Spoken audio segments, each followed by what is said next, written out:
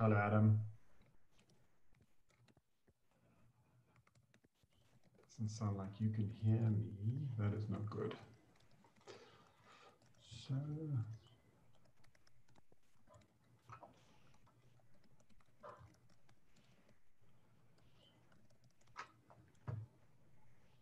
Adam, can you hear me? Hello? Can you hear me? I can hear you. Hello? I think I, I can hear you, Keith. Hi. Okay, good. Hi, good morning. Yes, good morning. Thank you very much for joining us. Oh, no, thank you for having me. I hope you've had your breakfast and some coffee. Mm. It's Yeah. It's not, it's not, it's not early here. It's, uh, okay, let me see. I'm going to just add people. Um, they can hear us, and I'm just going to add them, and you know, so that there's a sort of feeling of having a seminar, like a big table with a whole lot of Yep, people. that'd be great. Thank And they won't all. You'll see names, but you won't see video. I'm just going to. Okay. I'm just adding you. In, I hope people can hear me. I'm just adding you um, around the table uh, as if there was a table, and then I'm going to allow the participants in the seminar to actually show video if they want to. Hi, Keith. Hello, who's speaking? Is that you, Mark? Yeah. How's it going? Yeah, no, it's not. It's well, it's end times. You know what? Can I Yes, say? exactly. Other than that, though. Um, yeah, there really isn't much else. Really, it's. Yeah. yeah. Uh, cool. So great to be Sorry, here. Mark. How are you? Where are you in Canada? Uh, yeah, we uh, we got repatriated from. Uh, we were in Johannesburg, and then uh, the Canadian government arranged the flight, so we we got home and quarantine, and yeah, we're just hanging out now. That's right, that's yes. I'm just. Um, what I'm doing now, this uh, in addition to, I'm just making some people panelists. And uh, if you just like to draw your attention to me, me to your, uh, we'll do that. Stephen, where are you?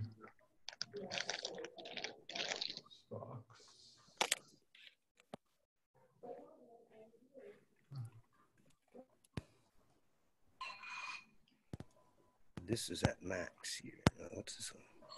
Mark, you need to mute yourself though. Uh, Meeting. How's it, Stephen? Fine, and you? Hello, Adam. Hi. You would have gotten an Oh. email from Je- from Geoff Eley, courtesy of my uh, intercession. Intervention. All Yeah, right. yeah, you did. I did. Yeah. Good. That's what, that is what triggered me into finally responding to Keith's very kind entreaties. Excellent. I, I'm, I'm very grateful to Geoff for doing that. So, Yep. uh, Okay, so there are people, please forgive me, in the seminar group who I haven't promoted to panelists. Just, um, yeah, Max, I see you. Um, anyone else? Now I'm going to add you to this group. Keith, will you explain to me a little bit about um, your setup here? It looks really interesting. I will, I will, I'll, um, I'll, I'll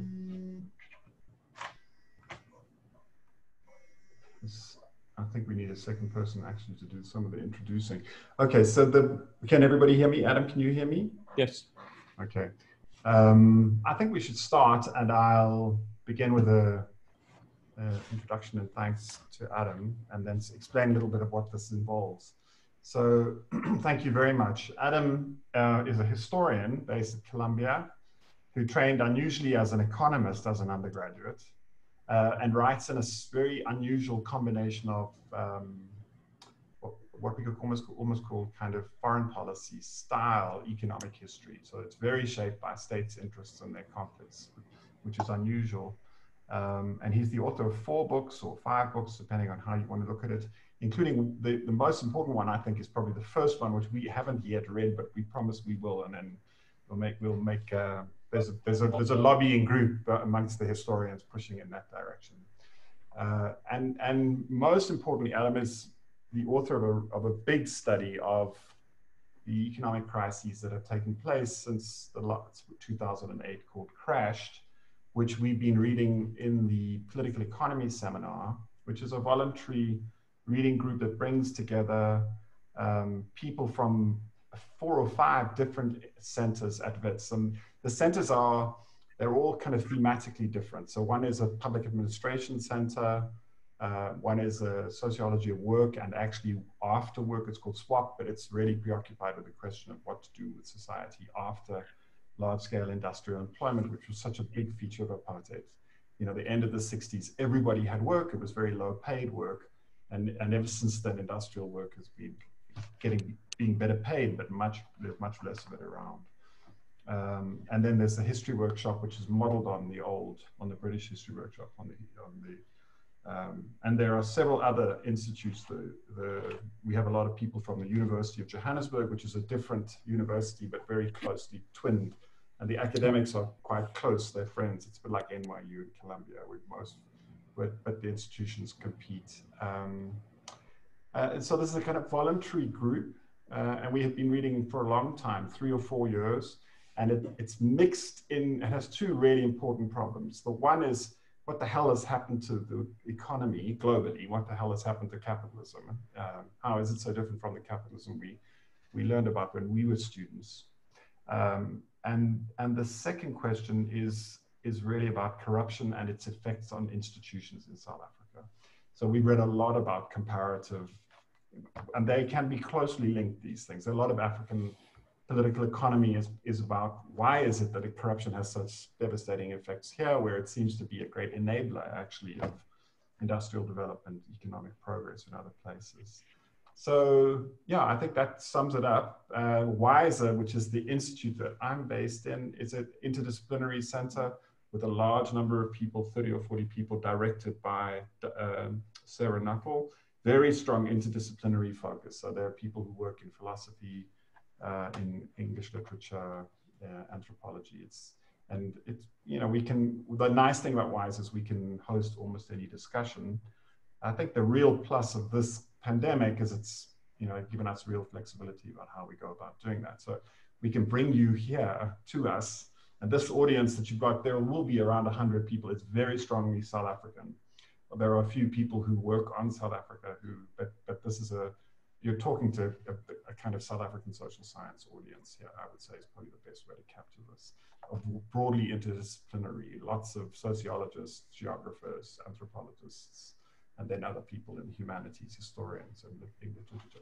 So thank you, Adam. Um, I'm going to post to the chat the list of the questions. We've already sent Adam a list of questions and then ask the people who drafted each of those questions to speak to them and then and we'll see how stilted that is. I hope it will be it will be quite engaging.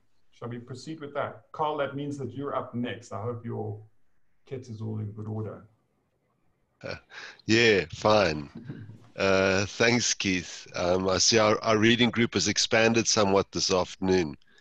Um, so it's great to have you. I, I want to echo Keith, Adam. It's great to have you with us and to be talking about that magnificent book that you wrote and that is so riveting to read. Um, so, my question is about the relation between politics and uh, the global financial system. And what comes through so clearly in your book is the mismatch between those one fully globalized system of finance and then these various national politics um, and how particularly at, at uh, in the US and the EU, the national, national level politics and domestic peculiarities prevented any adequate response to the financial crisis, the crash of 2008, 2009, or the series of crises that followed. So the result was that the Federal Reserve, and towards the end of the Eurozone crisis, the European Central Bank, were forced to come to rescue with the very blunt monetary instruments at their disposal. So there's three questions that I want to pose that arise out of that. Firstly, what would a more adequate set of national political responses look like?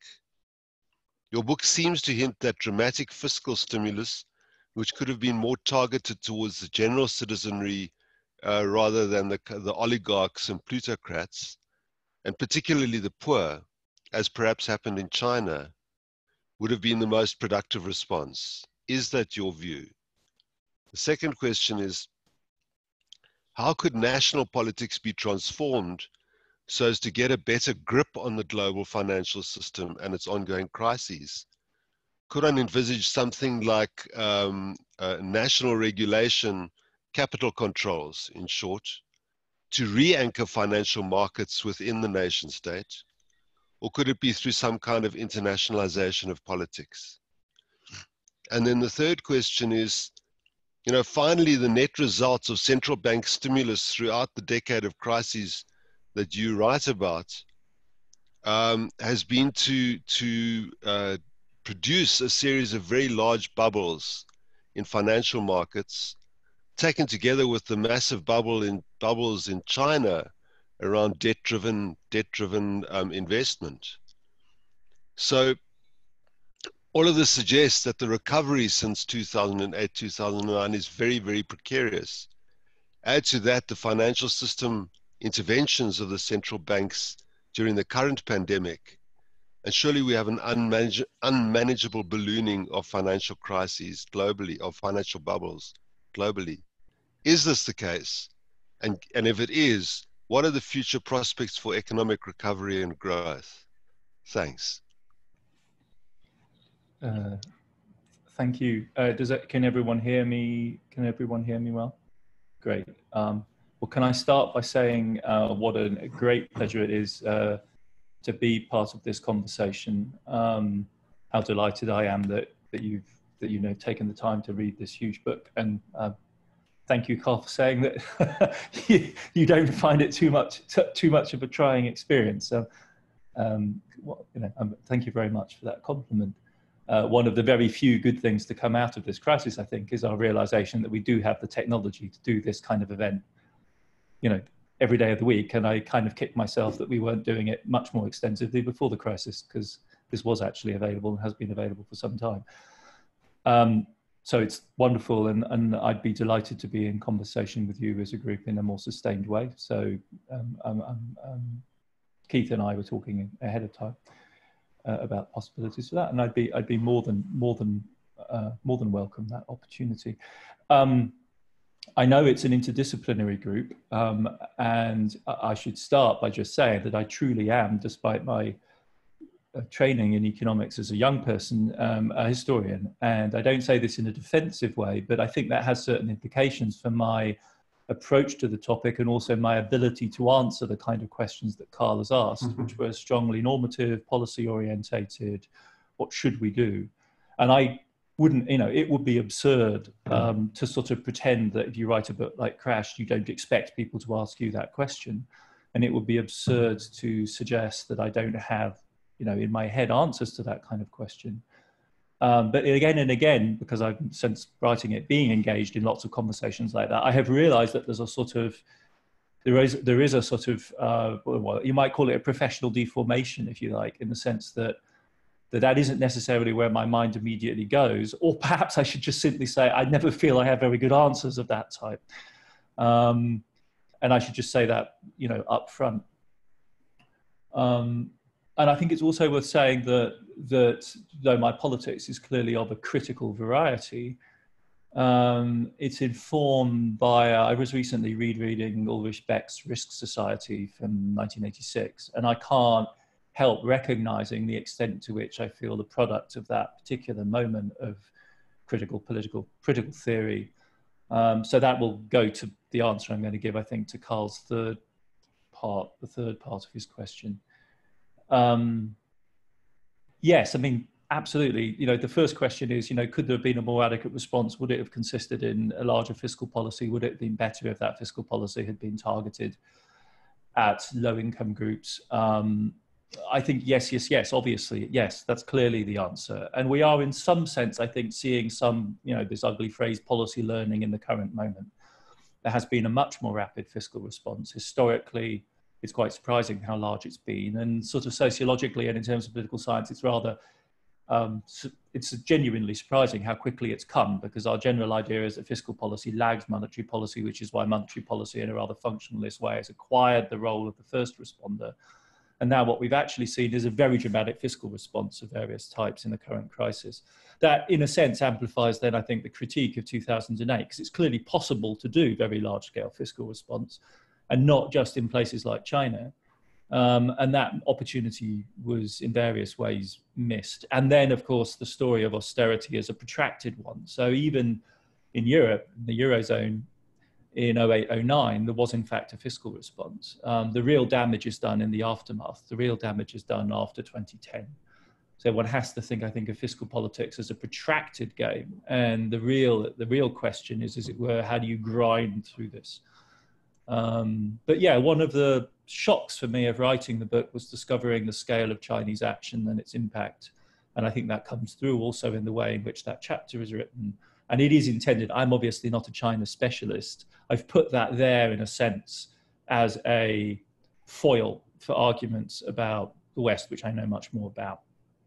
But it seemed crucial to have it there as part of the story. And I think as we have digested the history of 08 going forward, and as of course as the balance in global political economy has shifted progressively ever more towards China. Not only are we all scrambling to find out more, but I think also moments like that take on a new historical significance in retrospect because Beijing did things there which are harbingers of subsequent action. Though in fact there are rather interesting questions to be asked about why they're not repeating that experiment in 2020. So that's apropos of the first bit.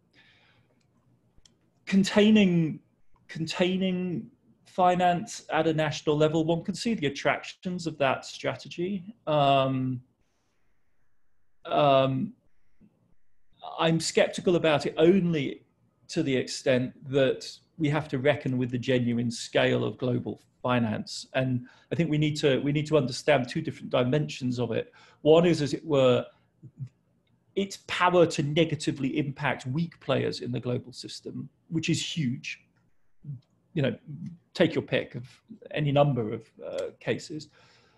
But then if you actually look, as it were, mm, there's a paper I thought we might discuss in the next session that we had, you know, earmarked. Like, if you actually look at the, the balance of global finance, not from the point of view of the, its victims, if you like, which is obviously a legitimate and highly important perspective, but if you just look at, as it were, where the trillions are put that have to be put somewhere, if you're BlackRock, they're actually in places which already are to a very considerable extent under the influence of national governmental agencies. In other words, you basically have to put them in one of the US Treasury market, the Bank of Japan managed Japanese Treasury market, or in some form of Eurozone asset, because there's really nothing else to put them in. I mean, the Chinese are developing their market, so that would add a fourth, and all of those are already to a very considerable extent under the influence of national authorities. You know, it's a complete, is one of the, as it were, uh, sort of abiding myths of the current moment that the nation state does not already. It's just which nation states play what kind of role. And the key central nations, the powerful advanced economy nation states, have a huge degree of autonomy relative to financial markets,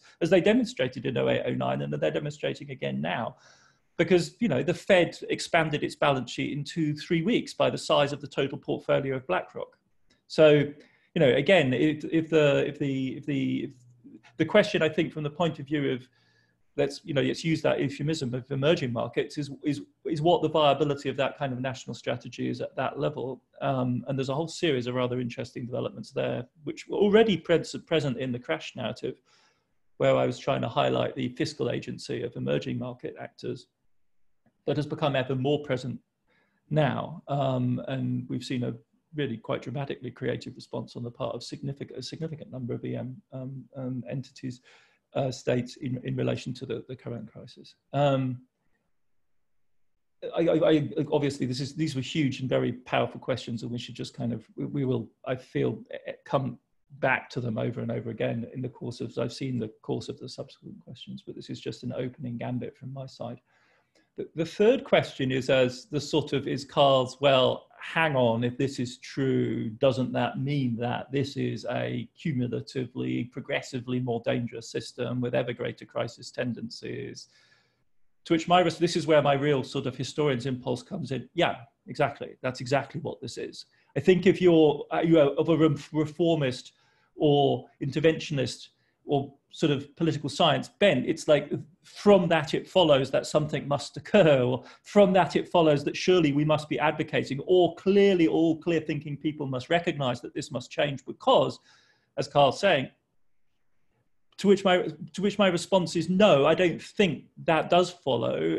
And my vision of the narrative of modernity or capitalism would be that it's precisely that, right? An ever more astonishingly dangerous balancing act of ever larger proportions involving 7.8 billion people in ever greater scales of entanglement with ever greater risks of really catastrophic things going wrong on an absolutely huge scale and more and more knife edge decisions and more or more more and more fundamental questions about the structure. So both, as it were, structure and agency coming under increasing pressure.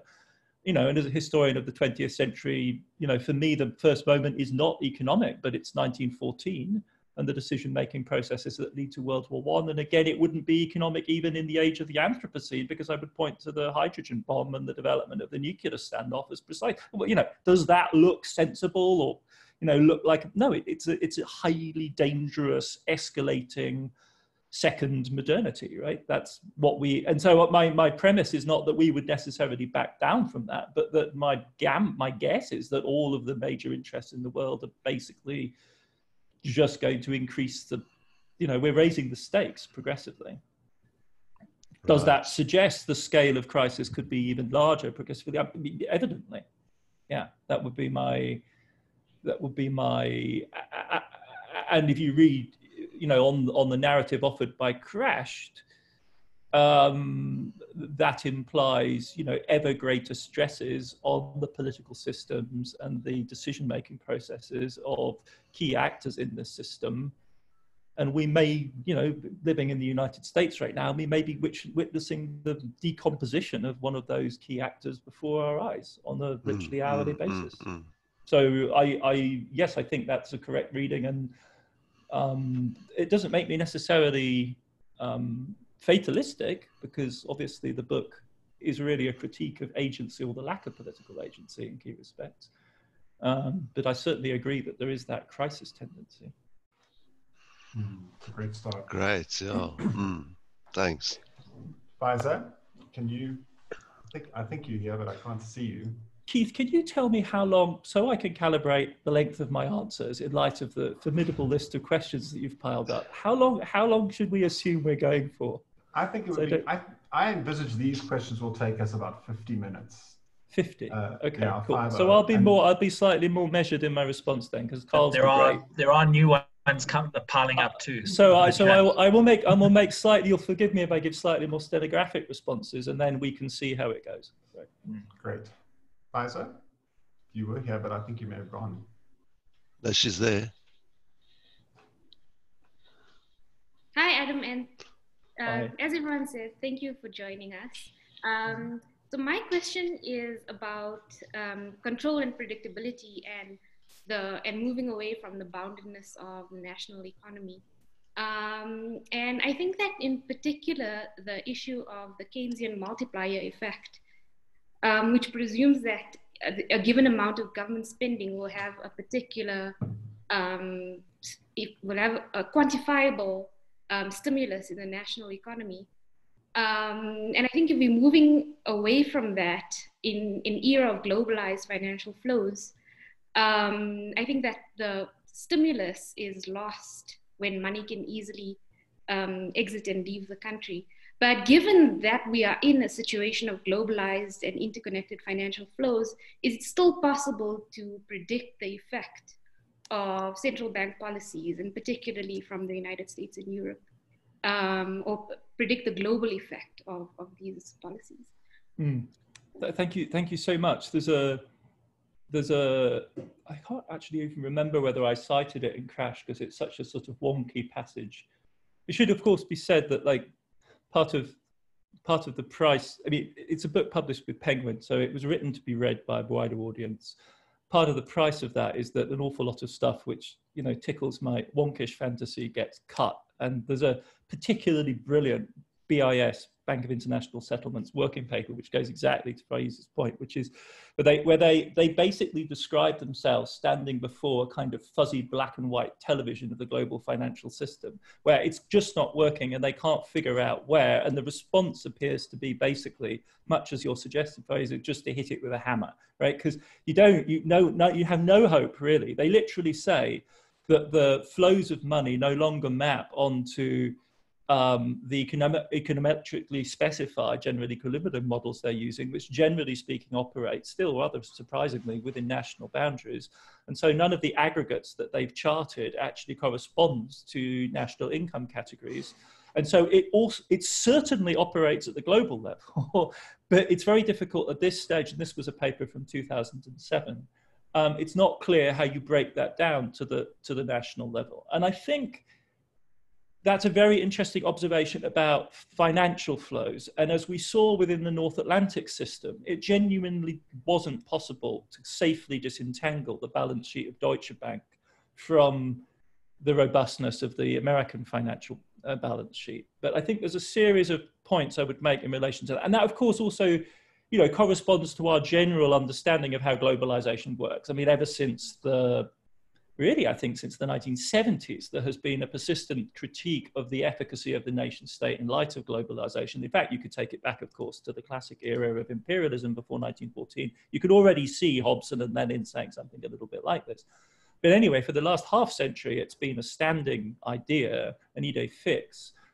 And it captures certain realities, but and, and especially from the point of view of small countries, from the point of view of small in the sense of their economic weight, especially small countries which are open financially or have been opened financially or where certain elites consider it in their interest to be tightly bolted. Under all of those circumstances your story i think is really is really quite valid. Um, but i think one should make like a series of sort of cascading qualifications. The first is that it is really a choice right? How the americans chose not to regulate deutsche bank constituted the problem for the Fed. And they have totally changed their approach since 2008 because they realized basically that Deutsche Bank had not been required to onshore, Barclays neither, any capital in the United States. There was basically no regulatory thing for them to have any purchase on. And that made Deutsche Bank and Barclays very dangerous for the American Monetary hmm. Authority. Mm. So, what they've subsequently required them to do is to onshore capital within the US. Now, any actor in the system can do this. It's a question of your bargaining power, whether or not the bank can, thinks it's worth its while doing this. And certain actors have more powers than others, but we shouldn't underestimate how much power you know, worthwhile markets do have in this respect, right? We shouldn't, as it were, hand the game to global capital up front by saying we all know teleologically this is the way this is going. So, therefore, it's a question of probing the limits. The second thing I would say is that we really have to be quite careful about whether we're talking about fiscal or monetary policy. Much of the argument in Crashed is really driven by the dynamics of financial balance sheets the story that you're invoking, Faizu, is really that of a Keynesian multiplier. That's a fiscal policy story, and the logic there is somewhat different, right? Nothing is quite as slippery as global banking balance sheets. Um, and a, a, big plea I would make is, is, is for the differentiation of different modes of global interconnectedness, um, of which the financial level will be the one that most subverts the ability of nation state actors through their choice. They helped create this system, or certain bits of state apparatuses from the 50s onwards chose to make this. The UK Treasury, the US Treasury basically constructed this system, even within Bretton Woods. That has then subsequently escaped their grip. But on the other hand, fiscal policy, which operates through national taxing authorities and national spending authorities, is subject to this at the limit. If you are a very small, very open economy, like the Netherlands, for instance, it just can't operate an independent fiscal policy um, because it's, it's people can literally just get in a car and go to Belgium or go to France or go to Germany and buy their groceries there. You can't really operate a national fiscal policy there. For a country the size of the United States, which has like a trade openness of India, I mean, I'm not kidding. Like it's something like add up imports and exports as a share of US GDP, which is the maximal measure, and it's like 20 to 25 percent.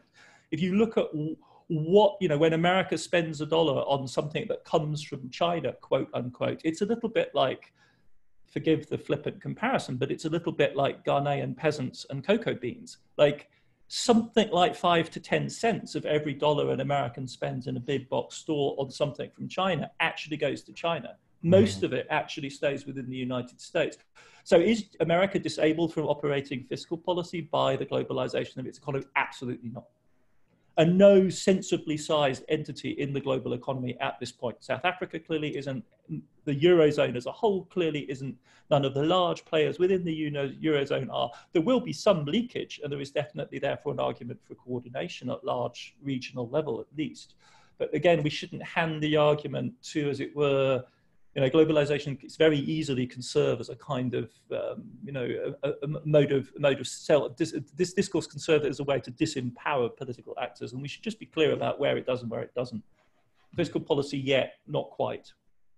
Monetary policy, bank stabilization, it may genuinely need large-scale global coordination to make that work.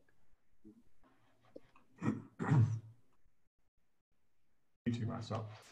Um, yeah. yeah, yeah, it's me. Yeah. So the one of the, as you say at the beginning, one of the things that's really astonishing about this book is um, its treatment of China. It's it's very interesting because you know it, it, places the kind of global geopolitics into the story of financialization. Uh, so you have a lot on Russia and, and and an enormous amount on Germany, actually. I think the Germans, we have this debate about who the villains are in the story, and the Bavarians come across as the villains, I think, but that's not my question.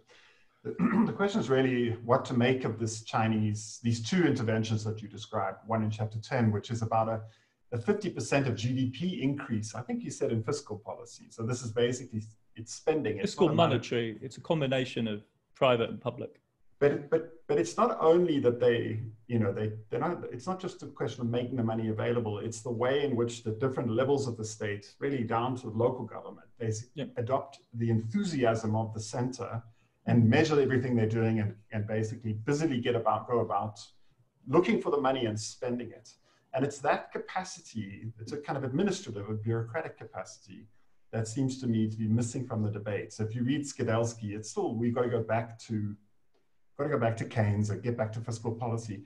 In South Africa, I think we very, some of us, and there's a debate in this group, but some of, we're very skeptical of fiscal interventions having any ability to shape the economy because we, we miss, we doubt basically our bureaucracy and we fear the mm-hmm. looting that would come with that. So I wonder how we, how you, what you make of that uh, mm-hmm. and what the implications are for this debate and for really the future of democracy, I think, because that's really what's behind this problem. Mm. Um, and the second thing is to say a little about what you think the, the lessons of the 2015 crisis are for the Chinese. Because it's, you know, you decide, you can explain what happens, but essentially, you know, they momentarily are subjected to the same kinds of what we call extroversion, offshoring crisis, where the, where the people who possess capital flee and take their money with them in an absolutely staggering scale and speed.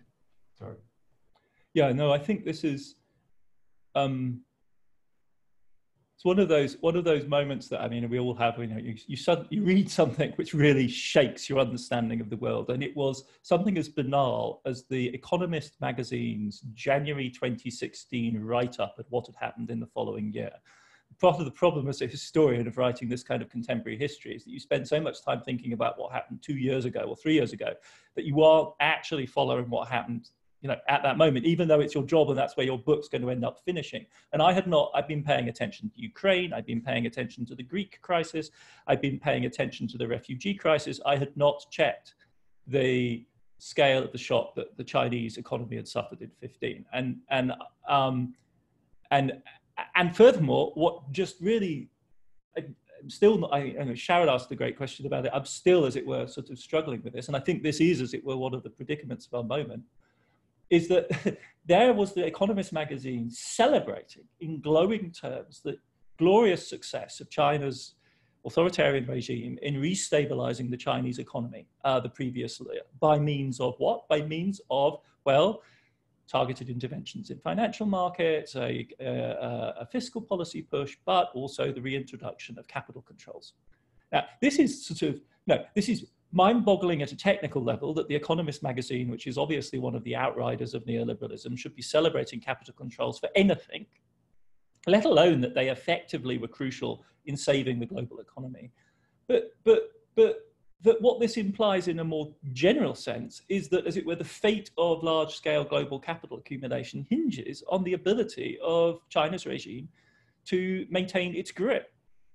Um, and when things get when we have an emerging market quote unquote as large as china and we've never of course had that situation before it turns out that the standard neoliberal prescriptions are will be downright dangerous. And like the last thing anyone wants to see is the chinese actually lifting their capital control. Now that's dizzying because you know much as westerners when they observed nazi germany in the 1930s imagined that as it were there were factions within that regime that were more or less liberal, more or less predisposed to the West. And of course, similar was true, no doubt, in their handling of apartheid South Africa as well. And that you, as it were, engaged in various forms of, of engagement with those different factions with a view to manipulating the internal power balance. It had long been an article of faith that the people in the People's Bank of China who were most in favor of liberalizing the current account were our Chinese. They were the Western orientated, liberal, reforming, by implication, they were going to deliver the liberal teleology of convergence that we had staked everything on geopolitically in the 1990s. In other words, safe to integrate China because, because you know, one thing leads to another, property rights,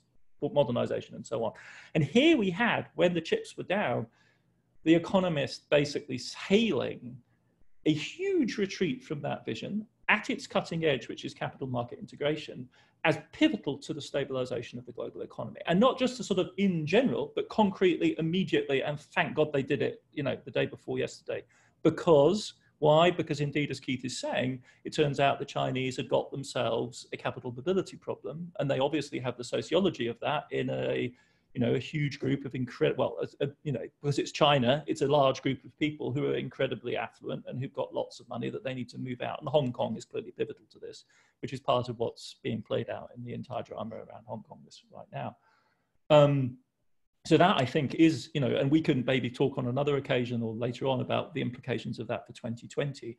But taking the story back to 2008, what, to my mind, as it were, that is the question, and it's the question you're asking, Keith, because you were sort of too polite to say it. But the, the transmission belt for that energy is the party. The transmission belt for the energy of the gigantic fiscal policy push of 2008 is the party. Uh, it does not run via the state apparatus. It comes via party directives, which say to everyone down to the regional level. And of course, we have to scale, right? A Chinese region is the size of South Africa. Chinese region is the size of one of the largest European states.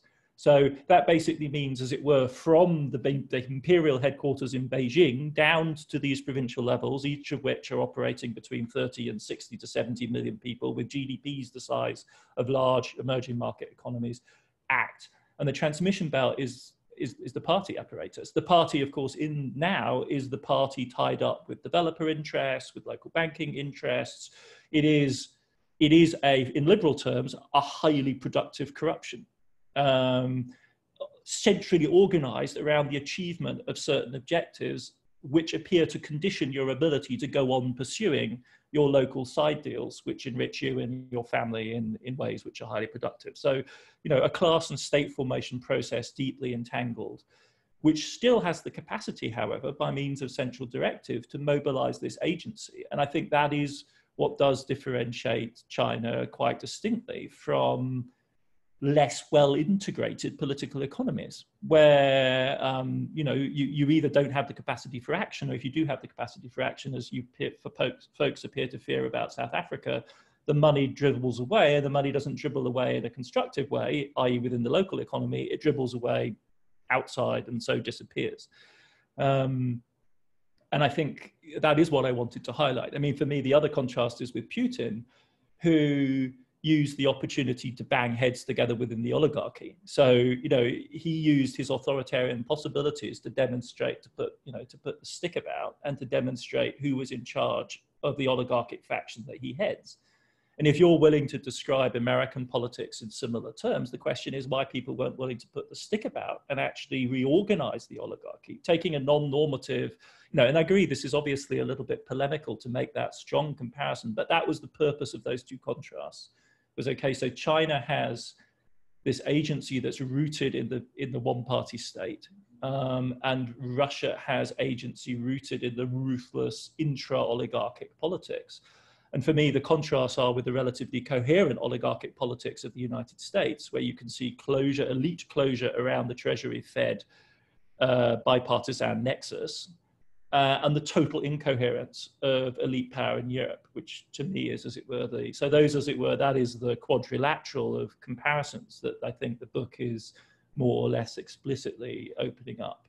Um, and I do, of course, now, of course, the question is, what do we make of the astonishingly ideologized reading of one-party power that is becoming more and more prevalent in the West with regard to China. I mean, it's literally moving the goalposts of what's possible in relation to China every single day in the US right now. It's extraordinary how deep that goes. I don't know actually how the ripples are being felt in South Africa. I know a little bit more about China's engagement with East Africa. But anyway, mm. um, so that is that, that that was the the you know the kind of rhetorical purpose of that of that account, but also not to not to fall then into a kind of simplistic, you know, celebration, Martin Jacques style of the glorious agency of this, you know, because that isn't how it's understood within China itself, right? There is there is persistent and enduring anxiety on the part of the more sophisticated actors in Beijing that they don't actually control this.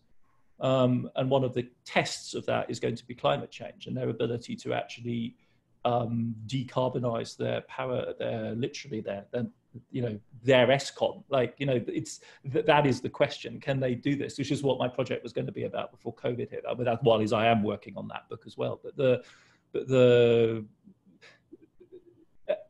and this was completely manifest, right? This wasn't. This was before Xi. so the internal self-criticism was a little bit more, a little bit more explicit. You can see the Chinese worrying about this avalanche of spending that they've unleashed. I'm Great. speaking for far too long. I'm so sorry. I, I, will, no, I will try and be brief. Um, let me just say we have, I think, we have six more questions. Um, okay, and I'll try. Let's try and do them in. Yeah, in we should try to be. Yeah, so, brief. So yeah. sort of three to four minutes each. Yeah. Um, Laura, are you here? Yeah, I'm here. Hi, hi, hi. everyone. Hi, hi, Adam. Thanks very much. Um, my question uh, is about the IMF and has quite um, pre- pre- sorry quite presentist concerns. Um, so, uh, but as you demonstrate in Crashed, uh, to talk about the IMF is, you know, we, we really have to look back um, at least to the 08 period and a little bit after that as well.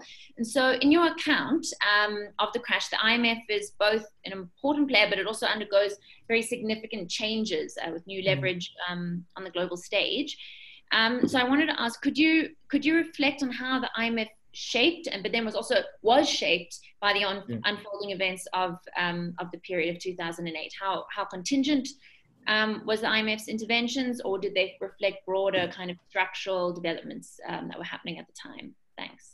Yeah it's a really interesting story um, and it does indeed have huge enorm- enormous immediate relevance of course because I think the question that is being asked insistently is okay, is 2020 going to be a similar kind of shape shifting event in the history of the IMF? And will the IMF be equipped with the resources necessary to cope with?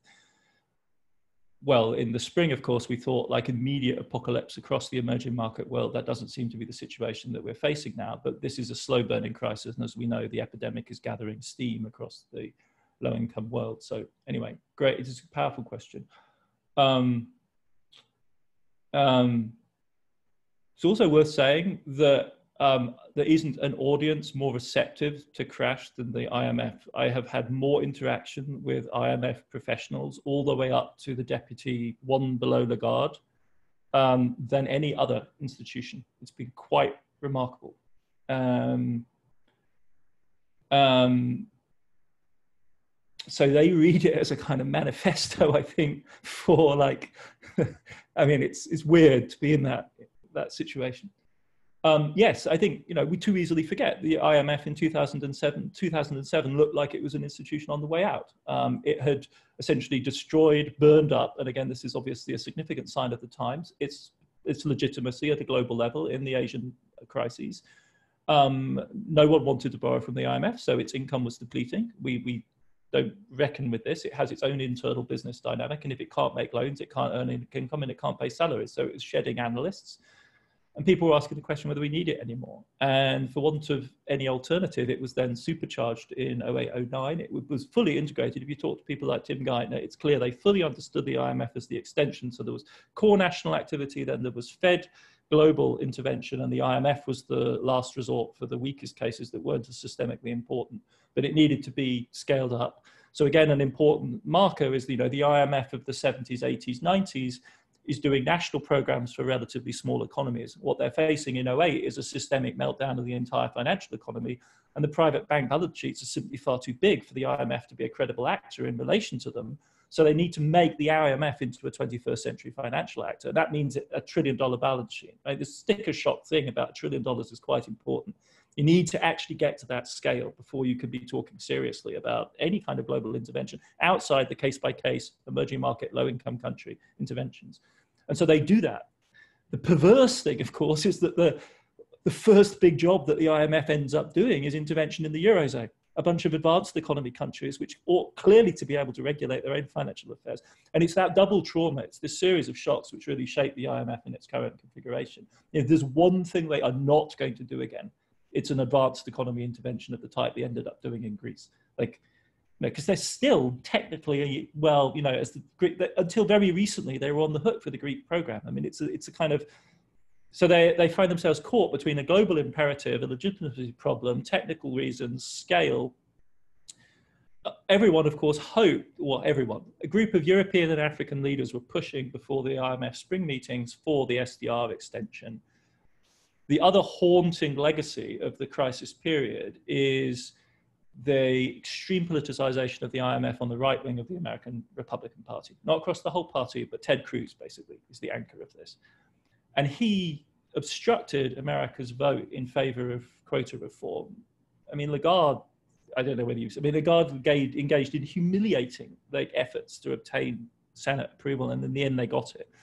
But they this for them is, as it were, the, the next marker. So I'm trying to be as brief as I'm trying, so I'm being stenographic, but as it were, they are caught between the recognition of the need to scale, the recognition of, of the need to become a truly global institution if they're going to be legitimate, in the narrow terms that we're talking about legitimacy here. So within the sphere of G20 apparatchiks, legitimate, and then thirdly, the question of whether or not you can get any of this past the right wing of the GOP in the United States. So the politics are a little bit like those of climate, climate, global climate politics.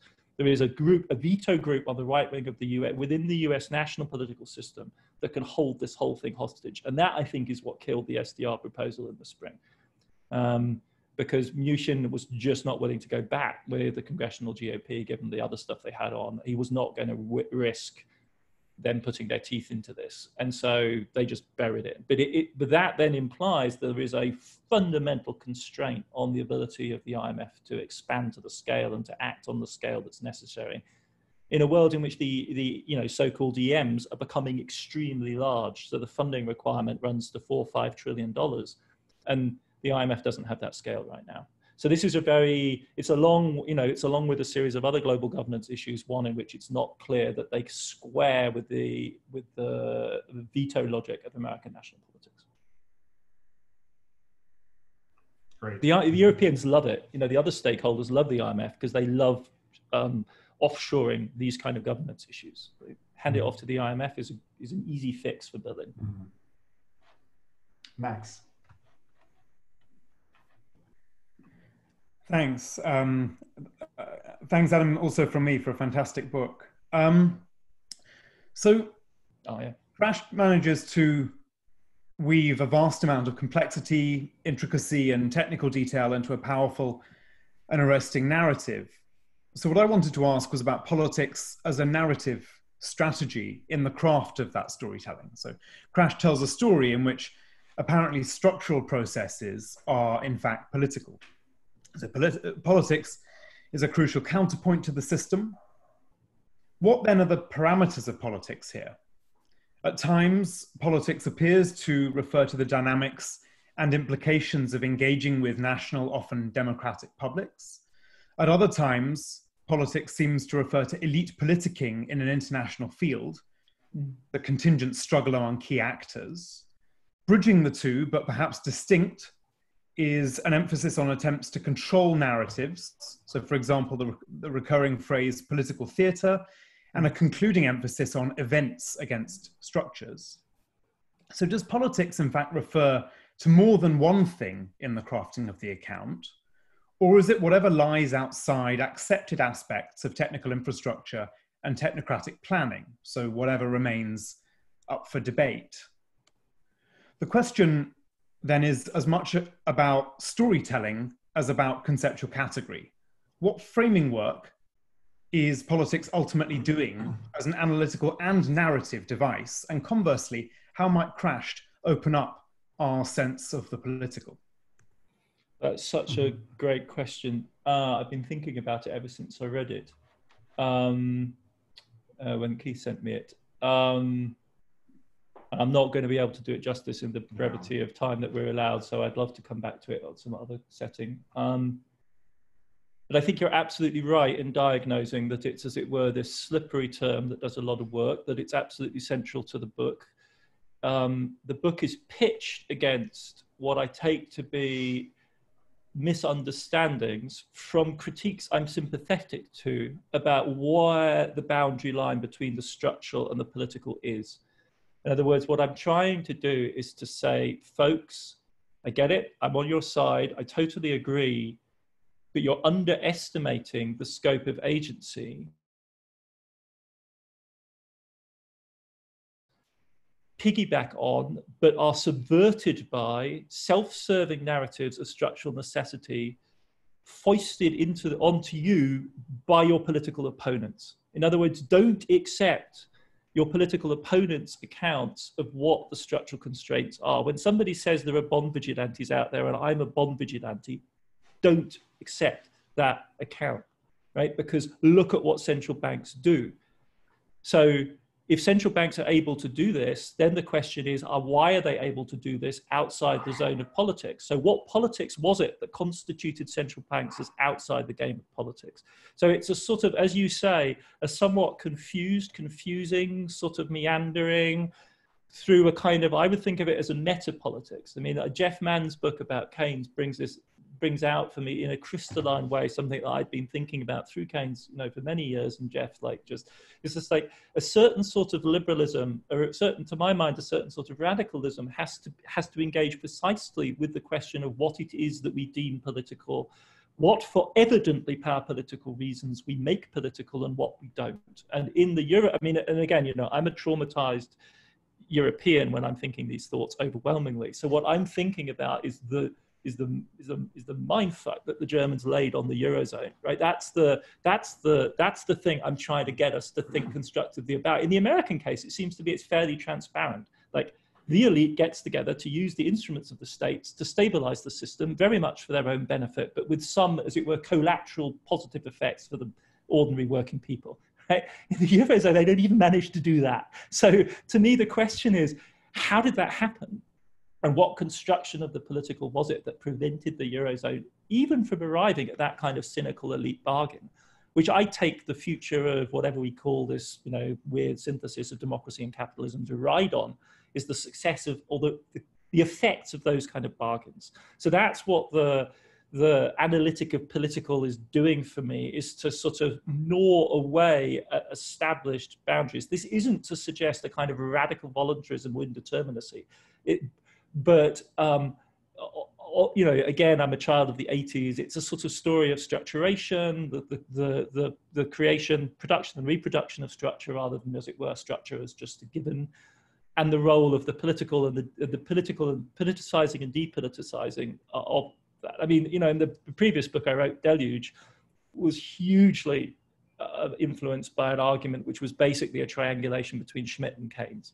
And and I, I, you know, one of my answers to you might have been a Schmittian answer, and you know, one that isn't sympathetic to Schmitt, but that basically says political is what has the intensity of the political.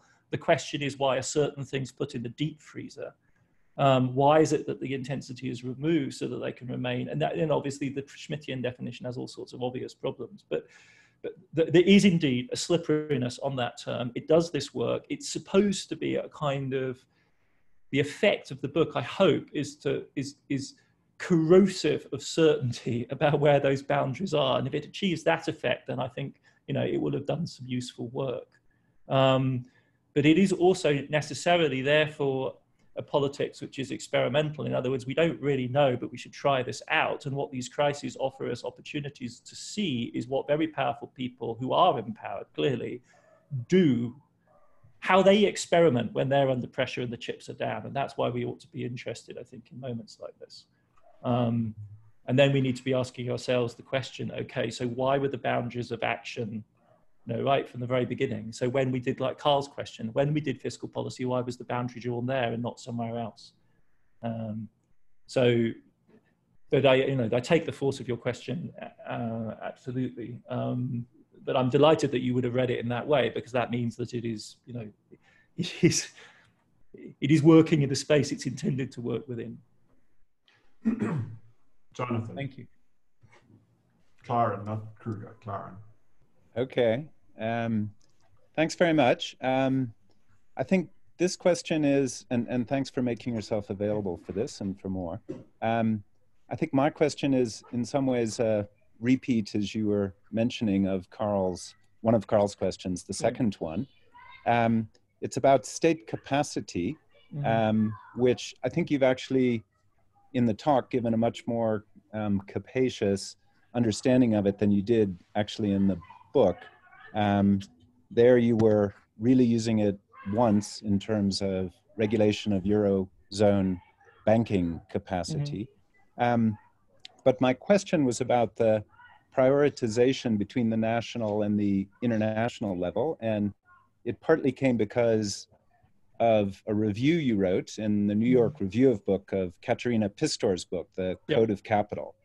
And I think you were a little, uh, well, I read you there as being a little unsatisfied with her lawyerly um, reforms and sort of saying lawyers should get out there and build the state. And maybe that's the US state uh, under Trump. Um, so maybe the way to put the question is compare that effort with you've just talked with Laura here about the IMF and the need for, I think you said a trillion injection into the balance sheet. You know, what about the administrative capacity there too? Um, so it's it's asking that second of Carl's questions again, the balance, the investment in state capacity building between those two levels. Thanks very much. No, thank you, thank you, Jonathan. Um, the, the passage that you, the sentence that you quote is coping with highly integrated financial capitalism requires a state that is disciplined, has the capacity to act, and has the will to do so. Coping with a banking crisis on the scale that was brewing in Europe required a very capable state indeed. And it's one of those sentences or two sentences that you remember writing and thinking, shit, I bet somebody's going to ask me a question about those. Um, so finally, these really are, uh, I, I, really do have to thank all of you for having read so attentively because you're um,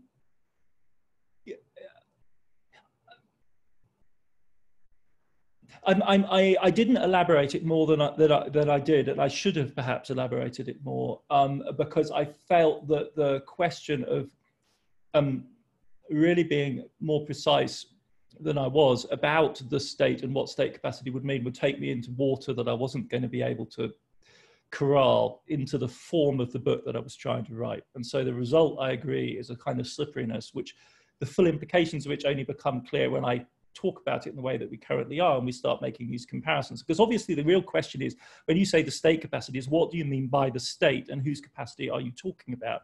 And when I say, well, I'm comparing implicitly, you know, the Chinese system or the Chinese state with the Russian state, with the Eurozone, with the United States, that's really the four state forms, if you like, or modes of government that this book is really thematizing, along with a bunch of rather competent EMs, which are quite interesting.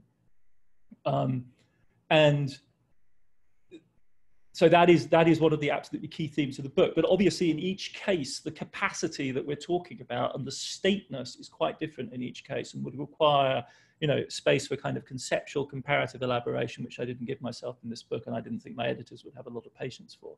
So that's why, as it were, it's bracketed. I know that's a kind of a sort of weak answer, but I think that's really where it does, and it allows me to continuously postpone this question.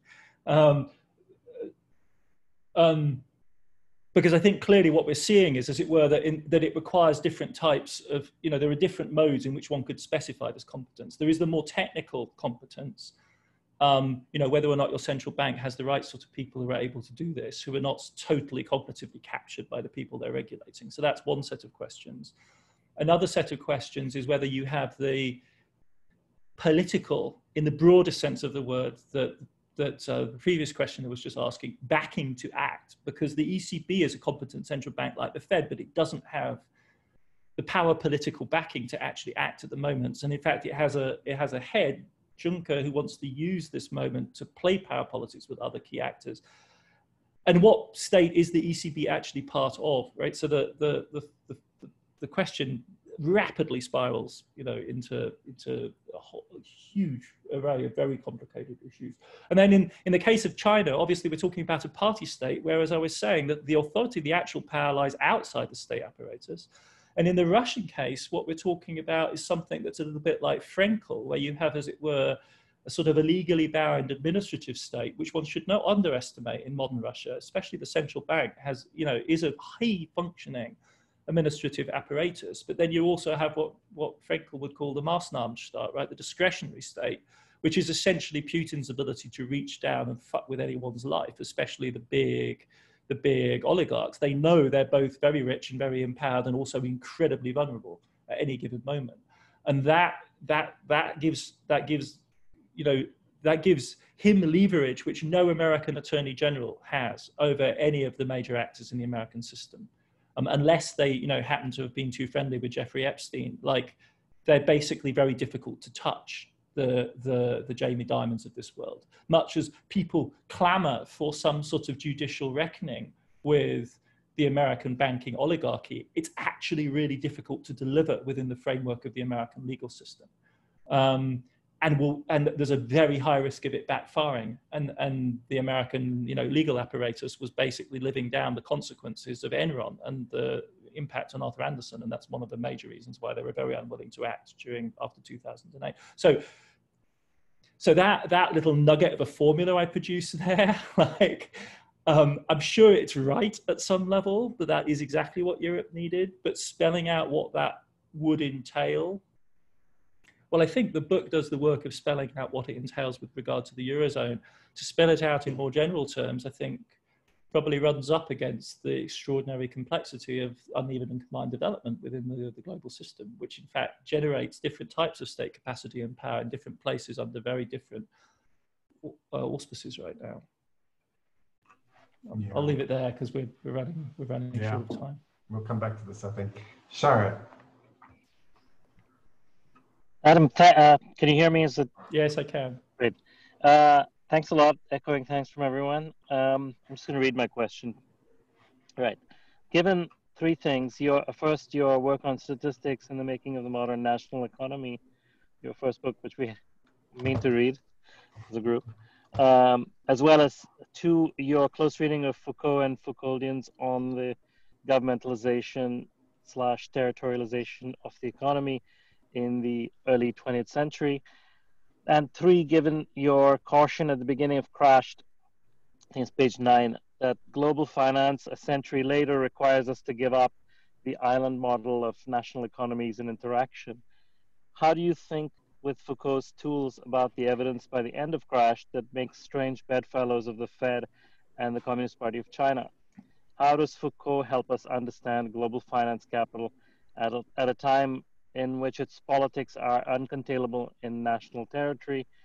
To use Foucault's metaphor, have scholars of global finance tended to cut off the king's head preemptively when undemocratic, if not monarchical, institutions like the Fed and the Communist Party of China uh, are the ones that have been at the forefront of trying to regulate global finance.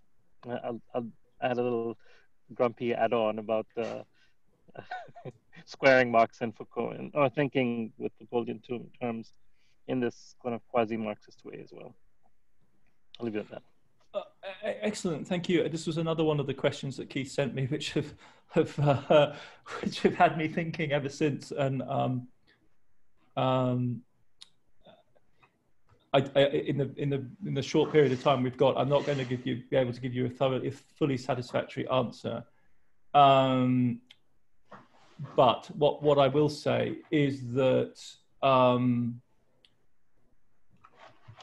it is clearly true that we have to have a, an analytic which allows us to recognize the role of central agencies like um, the Fed. So, as much as we may be sympathetic to the kind of Foucauldian critique that wants to cut off the head of the state and to under, to to undercut that rather crude notion of power, we cannot, as it were, fall onto the kind of reverse salient of not recognizing centralized power when it clearly exists. And, and I obviously have a kind of professional personal deformation in this sense, and this is the thing that I end up obsessed with always. And I, I know that I'm, you know, vulnerable to criticism, but to take the analyst analysis that Crash offers at face value, and I think it's undeniable that there are key nodes in the global system that do have this kind of sway over very large parts of it. So what are we going to make of that? And, and I was wondering whether one way out might be to think in terms of different um, media within which power is organized. Perhaps, you know, and this, this would not after all be implausible, perhaps there's something about money which um, makes it preeminently um, the zone for this sort of rather you might say, if you forgive it, just, just kind of caricature, kind of like an atavistic notion of sovereignty, like a rather a rather classic primal notion of sovereignty is tied to fiat money. This is money because I, sovereign, say it's money in the limit. This is always counterposed to what is also obviously an essential part of any reasonable account of money, which is that money has value because it's, as it were, you know, classically dispersed capillary uh, dependent on collective trust. And so perhaps money and the credit system are a strategic place for thinking about this relationship between diffuse power in the form of ledgers, balance sheets, accounting, credit, which you know is, is eminently amenable to a uh, to a uh, a kind of you know the, the Foucault revision of our understanding of power, and simultaneously the kind of ultra sovereigntist uh, notion of money, uh, uh, of, of, power that resides in the central bank. I don't think I've really gotten further than thinking that, that, that, this might be the zone where we need to really reckon with that duality um, uh, that then causes me to begin wondering about some other zones. I mean, you know, where one might think about, say, modern military power and the duality between between atomic weapons and you know drones on the one side and the realities of military power and counterinsurgency operations or deep militarization of states or whatever. Which so I I I, I, uh, I guess what I, what I'll say is that these crises have destabilized the confidence with which I felt I could navigate the power structure and have, in a Foucauldian way, and have re alerted me to the element of contingency, of centralized power, of sovereignty in that classic sense, which is also where I was going with that final riff on 1914, which is what the book ends with. In that there is a lability, a uh, inherent in in modern power that I think we have to we have to reckon with, and that's that's probably as far as we should go right now on, on this moment. But let's come back to it perhaps in a subsequent discussion. Yeah, great. Okay, so we have two questions uh, left, I think. John Kruger and Crispian. Crispian looks like he may have fallen off. I hope not. John, I think you should proceed with speed, with haste. Thanks very much, uh, Adam. I think these also hark back to Carl's questions and so on. But I hook on the statement that you made in the LRB on 16th of April that yeah. in the US, the national institutions of economic policy actually work. And I mean, to be brief about it, is this not a bit misleading in the sense that, yes, you know, sort of the monetary financial market interventions were there when we needed it. Uh, but really, a lot of other aspects of economic policy uh, not very coherent in the US. And then also, could we not argue that, you know, this monetary policy is really just another case of this extend and pretend or pretend and extend that leads us on to the next crisis. And quite critical about that in the case of Europe, but here um, it seems you think that is the characteristic of good economic policy to avert the crisis. Um, uh, okay, so so no, I mean I take the force of your point clearly. Um, so this was this LRB post that I wrote early on in the COVID crisis, and I was drawing a contrast there, and I think I was under the impression really of the first phase of the COVID crisis, where um, um, March and early April, where it did seem as though we were going to replay the script of of 2008 and after. And um, the story is constantly shifting. Anyway, what are the broader stakes? Let me just spell that out. And, but um, uh, in Crashed, if, if you think of the book as a, as a limited intervention in understanding the response to the heart attack of the global financial system in 2008, um, it seems to me that the point it is reasonable to say that the that the institutions of the American nation state, and that's an important qualifier here, provided a platform to stabilize the financial system. Do they then provide the platform for a thoroughgoing change in that financial system such that it becomes more stable? Evidently not. And the Dodd Frank chapter is surely downbeat enough on that theme. What I point towards is an ever greater entanglement between the government agencies of government, American government in the macroprudential regulation regime. We have seen that massively confirmed. Does that imply that uh, we are, as it were, in a hamster wheel of ever greater and ever intensifying risk and ever greater need for interventions, such that the interventions themselves have increasingly to be understood as essentially systemically necessary and produced. Absolutely yes. And I think I would just, it would kind of revert back to my first answer to Carl. When I say effective, it's only really within the limited scope of that kind of a frame. In other words, are they enough to allow the hamster wheel to roll one further iteration forward? And the answer is yes. That's all we mean. Is this normatively, you know, is this what anyone would wish? Is this what how one would affect, uh, you know, hope policy to be conducted? No. But then for me, as it were, the question is, where did we get off imagining that that was how? No, this is a theory of crisis. This is a this is a narrative of a crisis-ridden system, which which is capable of moving one step further. The implicit comparison was with the whatever the EU is, which is not yet, is not a federal system, is not a nation state, and it's the national, it was the ability of the Americans and indeed the British um, to weld together in the crucial third week of March this year, the agencies of the Treasury and the central bank into a single crisis fighting mechanism that is so striking because it, to go back to the previous question, reveals a hard core of sovereignty. Um, because we're going to spend this money uh, and we're not going to brook any questions about how we finance it because ultimately we can just print it. And who prints it? Well, the central bank and the treasury between them will print it. And you don't see that very often articulated with that degree of openness, but that's essentially what the UK Treasury did. Um, and that's what effectively the US Treasury doing as well. And that, um, that's what I'm referring to. The question is whether the Eurozone, as a much more disarticulated system, has that capacity. That was the limited frame within which I would stick to that statement. And we are now, of course, seeing the decomposition of the American governmental machine, the state apparatus before our eyes. So it hasn't lasted. And, and that has been one of the, you know, the shocks of the ongoing crisis. So all of your points are very well taken beyond that, though, in the, in the, uh, you know, the, um, yeah. So we have one more question, don't we, from Crispian? Yes, Crispian, you're in the dark, but we can hear you, I think. Yeah, I'm sorry. I don't know what's going on with my uh, camera, but I, I, try to fix it.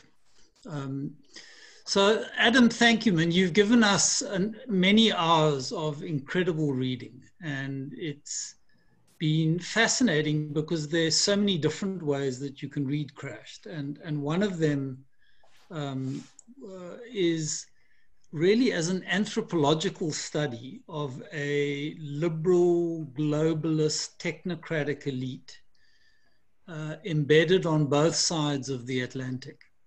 Um, and you give fascinating detail about how this elite operates under a moment of intense crisis.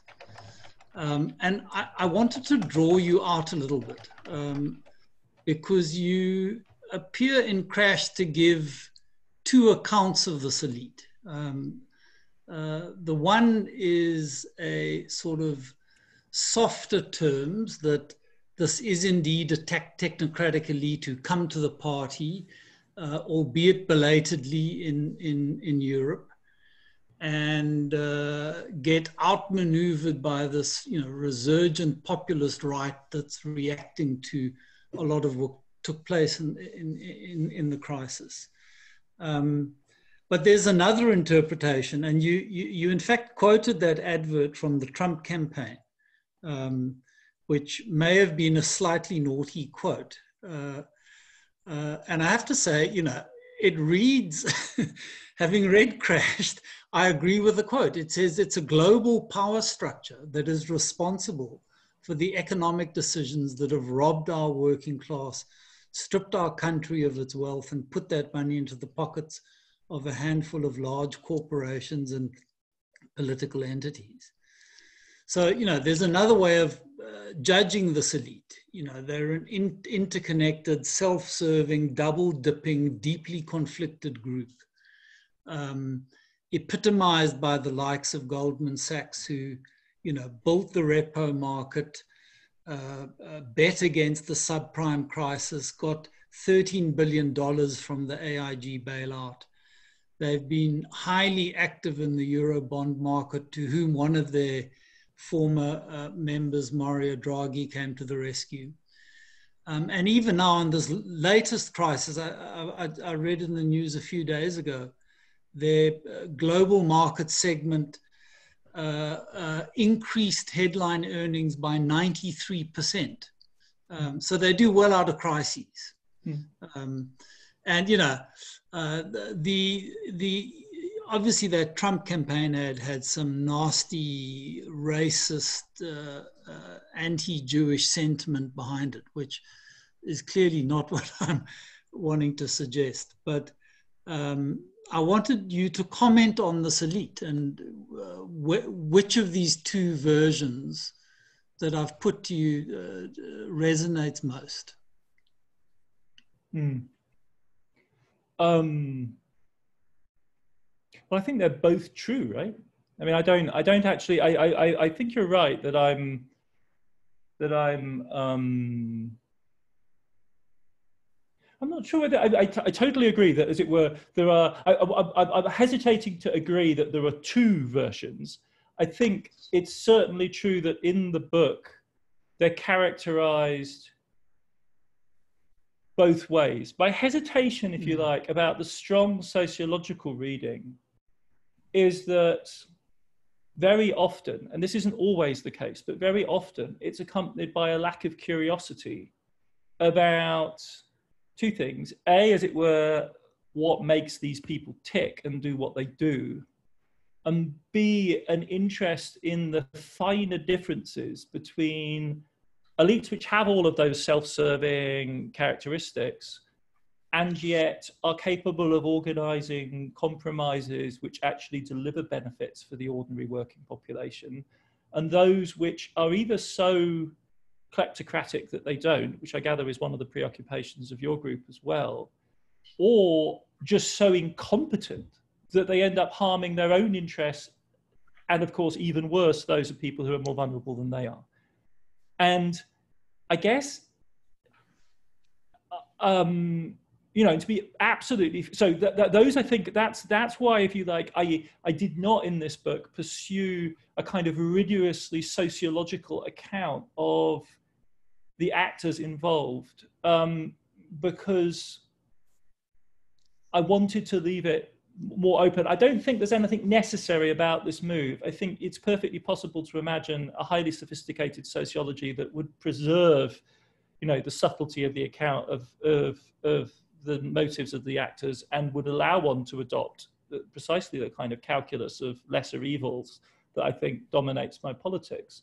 But but um, in you know in the process of writing it under the circumstances I was writing the book, I didn't see that I didn't see that middle way, and um, and it's a criticism that people have made about you know my I'd say wages of destruction. You can make a similar sort of argument about I think in the treatment of the Nazi regime is that I sidestep, if you like, the classic Marxian question of how to characterize the ruling elite, um, because because I feel uncertain, if you like, of the analytical grounds on which I do that. It's this is a you know all of your you know very probing questions are pointed to this this somewhat um, there's a sort of coyness analytically about certain moves the book makes with regard to politics, with regard to state capacity, with regard to this issue of class. Um, that I would accept as you know it's a frustration that I feel myself in you know having finished the book is that I don't really feel that I that I nailed those issues as squarely as I would like to have done. It may simply be that I don't actually my mind is in a sense not fully made up. Where I feel my mind is mind is made up, I like I feel I was fairly unsparing, and th- and that isn't those aren't issues where I do. I mean, I particularly I think am cautious about the the the question you're asking because I'm acutely aware of you know not just my entanglement, but but but structurally the entanglement of, of you know all of the institutions I've had the privilege of working in for the last ten years with precisely these people. Like so, like I, I don't feel entitled to you know somebody invoked Fanon. Um, like I feel I feel zero entitlement to to a sort of distance. Like I'm paid a ridiculous salary by a private university that is run essentially as a giant hedge fund. And everyone in my, you know, all of my colleagues are. Our students go on to work in these institutions. Um, you know, like they sit on the boards that govern our universities. You cannot be part of large scale private universities in the United States and pretend to have any real sociological distance. We are objectively entangled. Um, as intellectuals that work in a more or less oblique relationship with this system.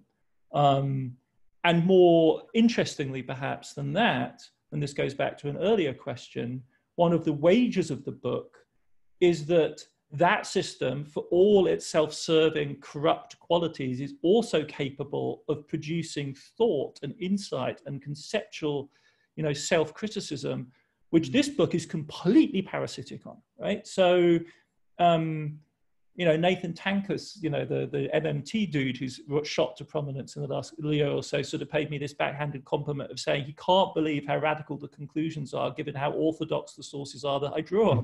Whereas I take that to be like proof of, you know, that's that is precisely, and I actually take that to be an, an authentically Marxian kind of move. Let's start mm. with in factory inspectors reports, let's start with you know, the classical economists and see what, at a moment of crisis, this, I, agree with you, corrupt, entangling system is capable of seeing about itself. And that the shocking thing about when you read the BIS reports, when you read the central bank, you know, when you read the plutonomy report by what, who was it? Morgan Stanley, JP Morgan, one of these banks actually mapped their own position within this hugely entangling hierarchy of wealth that you're talking about.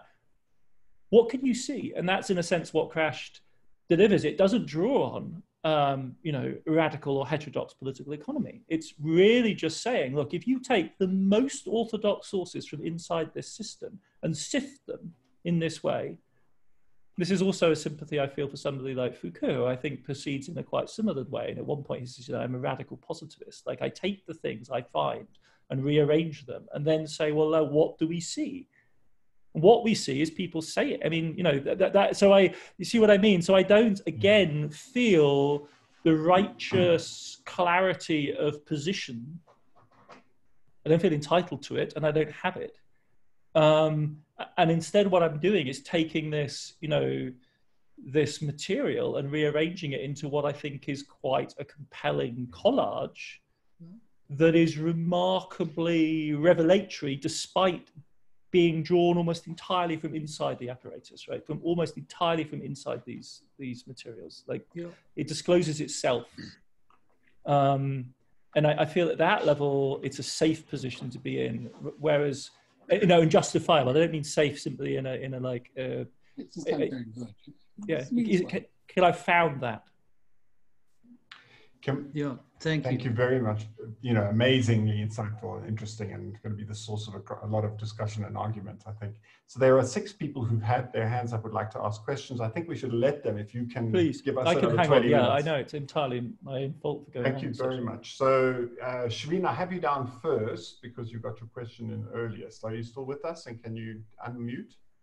I am still with you, and hi, colleagues. Lovely to see all of you. Uh, thank you, Adam, for a great uh, discussion and a great book.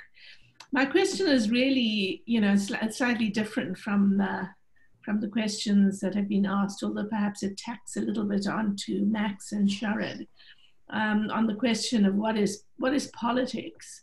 Mm-hmm. Um, I, I'm quite struck by the ways in which um, the discursive uh, quality of affect runs through the discursive quality of affect. Affect, yeah. Yeah. Okay. I just making sure I heard. Affective terms in which um, you, I, and not just how you write about it, but that is ever present, I think, in uh, public decision making. Um, and is mobilized by you as well in you know in terms of panic shocks we know that the way in which risk in economics has been kind of miscast uh, into a kind of technical exercise right when it is, mm-hmm. in fact quite um, tied to the ways in which crisis panic fear um, all, all, of which the pandemic, by the way, mobilizes in spades, and mm-hmm. which is so effectively mobilized by the populist mm-hmm. interventionists that you mm-hmm. Talk about. I, I, wondered if you wanted to surface that uh, more explicitly and what you would say about um, the relationship for elites. Uh, that I, I personally find the kind of Naomi Klein way of talking about it far too instrumentalist, that she thinks, you know, shock doctrine is kind of instrumentally mobilized. Mm-hmm. Uh, I'm wondering if you had a more nuanced way of thinking about the relationship between the mobilization of feelings um, mm-hmm. in economic decision making. Adam, Should I respond? Should, do you want to bundle? More. Yeah, cool. Okay. Let's say two more and then you can yeah. pull them all together. Holani, Sibia, are you still with us? Yes, I'm still here. Um, thank you, thank you for, your patience. for allowing me to ask this question and um, good, good evening to, to all the colleagues and thank you for this uh, great discussion that we've just had. Uh, my question is uh, around austerity budget that was mm-hmm. just announced by our Minister of Finance um, last week. And he subsequently wrote uh, quite a quite a good paper, a good article actually, in the Business Day that explained that um, the reason for a more austere budget as compared to an expansionary one at this point in time is that the fiscal multipliers are weak in emerging markets. That is, uh, especially uh, with, with an economy that is highly indebted as ours. I just wanted to know if there is any, any other papers or any other um, arguments that can be put against that, because the paper that uh, he presented, um, it, it's only one paper, and um, it, you know, it was not necessarily very convincing, at least not to me. Thanks. The last in this group, Michelle, you still with us? Michelle Williams. Hi, Keith. It's Vish. Um, oh. Michelle just stepped out. I'm not going to ask the question. okay. Go for it. Okay, we'll skip you. Okay, so I think Adam, if you can engage those two, and then we'll take the three, the last three as, as a group. Um, yes, I, I, the the the question about um, affect is is is is, is genuinely fascinating. Um, um,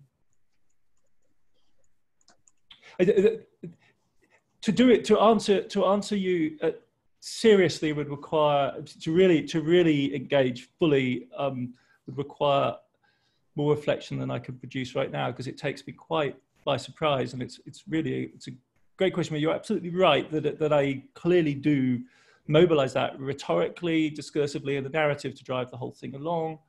Um, it's part of, as it were, my identification with the people that I'm talking about. Um, it's part of the effectiveness of the book insofar as it is effective and the you know those who were part of it who who who read the book subsequently you know would say things like it made my hair stand on end. I felt sick. Like i had to put it down. I couldn't stand it. I couldn't stop reading it like i didn't think i was going to want to read another history. I thought i and i don't say this in like i you add to my knowledge. I didn't want to go back to reading it and then i found i couldn't put it down. It's certainly true that there are post-traumatic kind of self-help groups amongst the crisis fighters. There's a particularly large group clustered around Tim Geithner that meet every year at Yale, and they have like an annual debrief, and it has been clearly identity forming for a group of the people who were most close to the action in 08 because um, it clearly was vertiginous and um, they lived in a kind of you know a series of really terrifying weekends. They were separated from their families for long periods of time. It was it was clearly horrific uh, you know really uh, shocking as an experience that none of them are likely to forget. That's you know that's just them inside that bubble and this isn't to talk about the wider ramifications and the increase in the suicide rate and everything else. Um,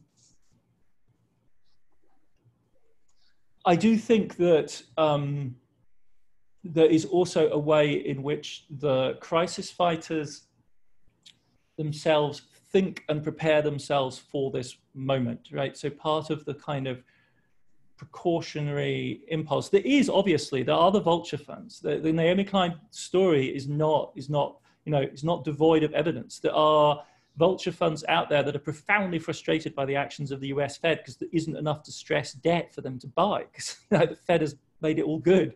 Um, there are people lugubriously sitting on the sidelines wait, waiting for those opportunities. I'm not sure that it describes the state of mind of the median capitalist power holder. Um, and it certainly doesn't describe the state of mind of the teams that think of themselves as first responders, that think of themselves, and you know, and I, I do kind of you know exploit Tim Geithner's memoirs for all their worth because they are a real treasure trove of American imagery of this period, and it's soaked in 9/11 aftermath. They all want to basically be the firefighters that ran into the buildings. This is the modern image of American heroism. Um, the macho dudes are the special forces guys with the huge beards and the gun toting, but the you know the, the civilian version of that is would you have had the guts to run into one of the towers um, on 9/11?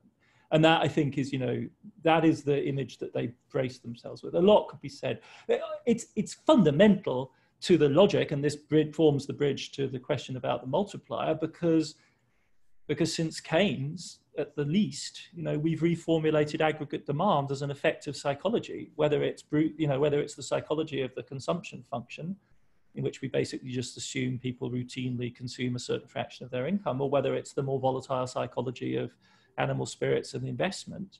Um, but this has become absolutely central to thinking about all macroeconomic models um, with quite vertiginous implications for their structural stability because they just basically don't have any um, if you start pushing on them because the question of course is how expectations are formed and in the lucas critique of the 70s expectations are formed by self-conscious actors watching themselves being models by modelers so the only reasonable expectation of a psychologically self-aware investor it has to include the modeling efforts of the external actors. Um, and I think that brings us to the question of like what multipliers are. I mean, whilst you were talking, I Googled multiplier South Africa. WIDER has a study which says it's two to three, which would make it was huge. Um, the question I think I would ask is what politics is being performed when you announce that we can't do this because the multiplier is really low. That was the game that was played out in the Eurozone. And we saw that disassembled before our eyes by the new team at the IMF under Blanchard, who just showed that they had systematically underestimated the multipliers. All of the econometrics were biased in technical ways, not, not politically biased, they were biased technically. That had produced you know, a misunderstanding under the particular circumstances of very depressed private investment expectations. The multiplier was large. what depresses private expectations? Well, then we are back in the realm of the discursive construction, if you like, of the animal spirits of investors which is a which palpably something that is operated on. And I'll just end with one further. You know, stress testing is that taken to its sort of technocratic limit. Let's all psycho. Let's see how good we feel if we literally gut check. You know, the financial elite of the United States. Imagine if we all seriously imagine the worst case. How good would we feel about our situation? That's the, and if we can then announce that we feel fine, you know, this by itself has a, and it's difficult it's difficult as as, in, as sort of flimsy as that may seem it's difficult to deny that something like that happened in the summer of 2009 and it's a crucial crucially differentiates the american experience from the Euro, eurozone experience. So i really think and that you know one could i think speak structurally about what it is that you know that allocates certainty to the multiplier estimate that the finance minister will will invoke and consigns all of this other stuff to the realm of you know the intangible the uncertain that of which we will not speak um, if we're serious people and i think i think it's uh, um, I think it's a very, very interesting question. I don't have really have anything definitive to say about it one last line from Streeck, who obviously I disagree with on money issues, but Wolfgang Streeck has a great line where he says, like, don't we need to think seriously about why the right to panic is allocated to financial markets and not to citizens? And in a sense, maybe you know, populism is, as it were, the manipulative exploitation of that panic. Though I mm. find it quite difficult to really think of what the Trumpists do as panic. To be honest, I don't. That doesn't seem to be quite the right, quite the right emotion. Um, but in any case, I think the politics of emotions around this are clearly, and the meta politics are, are, are crucial. Okay, we have three more questions. I just want to remind people that we're going to drag Adam back into uh, into Zoom on the 29th. So if you feel like you have a question hasn't been addressed, come back and we'll talk to him again then, and that'll have a stronger contemporary focus. So I have Bill, and then Reg, and then Siraj. Bill, can you unmute yourself? Me. Me. Indeed. Have you accidentally pressed the, the hand button? No, I haven't. I wasn't expecting uh, to be part of this. Uh, I'm a great admirer and fascinated, but um, I don't really have a good question. I think I'd rather wait until the next uh, until the next uh, round. Uh, but of course, but of course, anything you want to say quickly in terms of the crisis of 2020 uh, and how it continues from the other uh, would be very interesting. Thanks, Bill. So, um, and then Reg, your question's written down, but I think it's nice if you read it out. Yeah, sure. Uh, thanks, uh, Adam. Uh, what a terrific book. Interesting, interesting read indeed. Uh, mine is a, a short one. Um, your, your, book paints a picture of uh, a high infrastructural power of global finance and its entanglement with high politics. Mm. Now, in cases of countries like uh, South Africa, China, and so on, where do you see democracy evolving, given that uh, the macro institutions of state are evolving with this entanglement with the infrastructure power of finance? Mm. Yeah. And you know, effectively, the, the, the, the, population, if you want, the majority are not benefiting, yet it's only the, uh, the, the, the, the elite who are basically enjoying all these fruits. Yep. Yeah. And then Siraj, you the last question. If, can you hear me? Are you still with us? He might have gone for dinner. Uh, he's written his question down. Shall I read it out? Siraj, if you're not there? He's here. He's here. Yes. How do you know? You're not with him. Where's Doesn't seem to the mic. So. I think just read it. Read the question, kid. Okay. So Siraj's question is, why do you think that many governments ignore finance, global finance and financial flows and the domestic financial system and the financialization of their economies in their analyses and diagnoses of the problems of their economies and their solutions? For example, the South African government explains unemployment and low levels of investment by resorting to microeconomic issues with the economy, such as labor, flexible labor markets, low skill levels, and overregulation of business. And they ignore the broader impact of the operation of domestic finance and integration into global financial systems on employment and investment. I mm-hmm. think we'll, we will address this again, I think. So, yeah. But so, Adam, maybe you can answer those, but also sort of conclude, and then we'll let everybody go off and get a glass yeah, of yeah. wine, which you, you yeah. cannot do, but we, we are uh, well, don't underestimate. You know, it's almost lunchtime. um, uh, um, so maybe maybe I'll I'll start with the the last question. I mean, um, I, I, take it that there's there's a there's a you know there's it's a pointed question, and I and I, I take your point. I mean, I think there is a a obliviousness uh, and it's not it's not by chance. It's it's it's instrumental. It serves the interests of very powerful groups who have profited handsomely from the development of our, economic system over recent decades. Um, and as it were, take you know posits posits the development um, as natural, as necessary, as as unquestioned, and then as it were, in a similar move, um, points to the you know the naturalness of labour market immobility, the the failure of teenagers to take advantage of public education. You know, as it were, we have a kind of naturalizing discourse in which the problem becomes the microeconomic issues of the labour market and not the structural development of the world economy. I, I think that's I think that's perfectly valid and as a, as a criticism. Um, I quite like Keith's opening which is also to say, and this is, I think, particularly evident in the UK case, where which is a particularly extreme case of financialization, it was also in part because no one knew the answer to Keith's question, or the question that was posed by one of the groups that participate in this consortium, the one to do with industrial labor. It just was for want of any alternative. In a sense, people, there isn't a good answer to the problem of where high quality, well paid employment is going to come from for large parts of the population. And so you grasp at straws, you grasp at alternatives, you grasp at things that do work. You, you, you position yourself instrumentally and strategically in relation to them. And that's certainly what the British Labour Party did from the 1990s onwards. Is like the city works. We, they generate a lot of tax. Maybe they're not our enemies after all. We can't think of anything else. Industrial policy seems kind of outre. We try to make the education system work as best we can, but as we all know, that's a very difficult and complex task hey, you know, so let's double down on this bit that works. Let's stop fighting the trend. And I think that as well, you know, that it's not just as it were that there are certain people that benefit, but there is also a fundamental question as to what the alternative really is. Um, and the struggle to positively formulate an answer to that has got a lot to do with the way in which finance is able to say, well, we've got some answers, we've got a whole bunch of answers that, you know, this will work. Um, I think it is evident, I think, to come to the second question, the scale of the challenge this poses for democracy.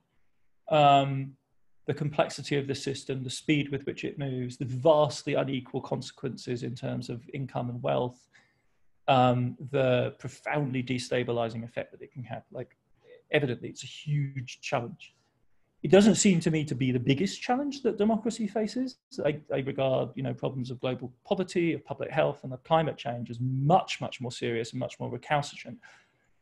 Um, in the sense that the financial side and the monetary side actually has obvious solutions. It is ultimately because of the constructed nature of money, a product of law and of politics, therefore. It is eminently amenable to fixes of various types there are obvious power centers from which power is wielded, and those are amenable to political influence, whether it's the form of the Chinese Communist Party or whether it's the form of American or European or substantial emerging market politics. They're clearly central banks are key actors in the system, and they are amenable to political influence. This is a lot easier, I would submit, than fixing you know, how you supply electricity to a middle income developing economy. Like how you fix the Eskom problem is considerably trickier, let alone the global climate change issue where materialities are involved of an absolutely massive kind, which are hugely problematic and difficult to shift.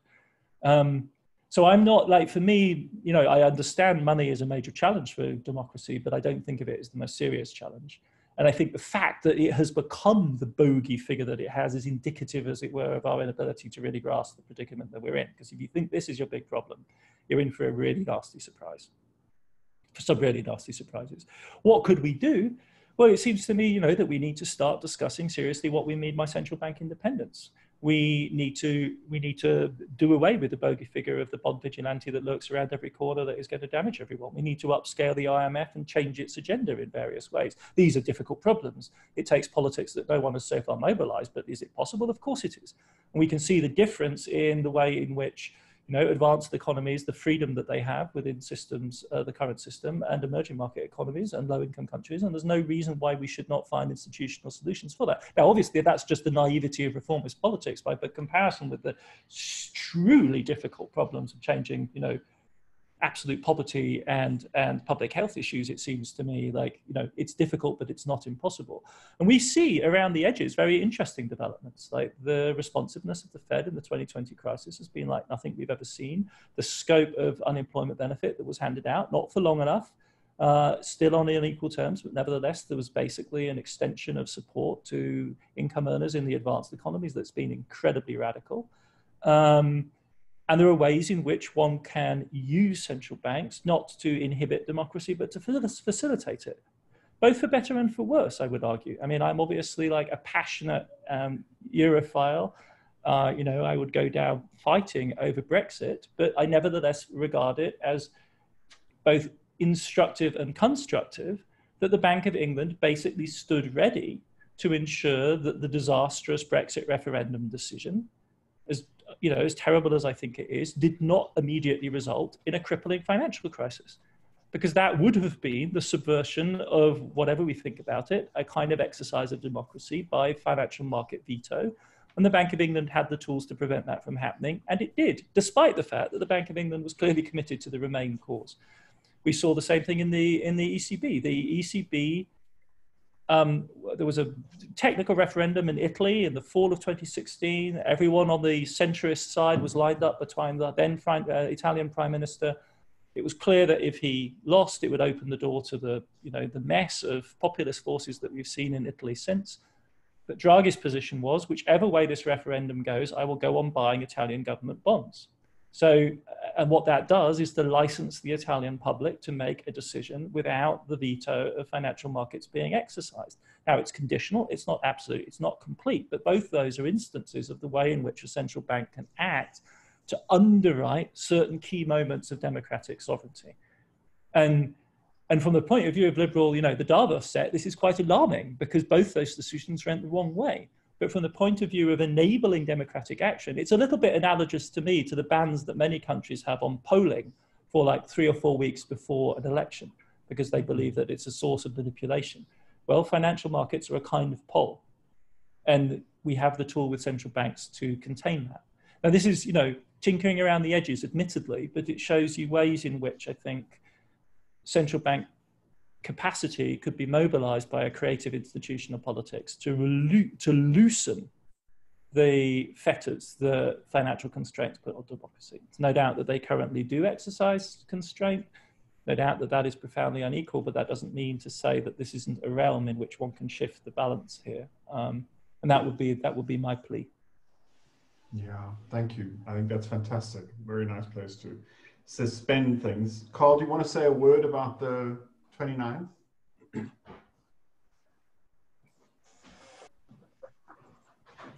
Yes, just a word, but uh, I mean, thanks, Adam, for a really fantastic discussion. I mean, I think it, it's been a very good way of distracting ourselves from the exigencies of the current moment to have this mm-hmm. kind of this kind of conversation. So, um, everybody, we're really looking forward to welcoming Adam again uh, on Wednesday next week, same time, same place. In other words, uh, a virtual meeting, a virtual gathering. And the topic will carry on from this one, and it is the pandemic crash, global political economy, climate crisis, and the prospects for change. A talk and discussion. So, Keith, I reckon we just welcome everybody to that and uh, hope we see you again, and it'll be virtual wine and uh, virtual cake again. Uh, but maybe one day we'll meet uh, when this is all over. That's great. Some real I, wine. I, I, will circulate. Keith asked me to suggest some. To, to, to give you some readings. So I, I will, uh, in the next 24 hours, get those to Keith and we'll keep it feasible yeah. for a week long uh, right. session rather than some gigantic screed. Thank you very much. Right. We do not normally go on this long, Adam. It's really a sign of how compelling this has been. We're normally very strict about stopping it after an oh. hour, but it's really been really been a great thing. been a great pleasure. Thank you so much, and uh, I look you. forward to um, to Thank more you. next week and to more yeah. in person at some point in future. Thank, Thank you, Adam. You. Thank you all. Thank you, Adam. Cheers. Thanks very much. Bye. Adam.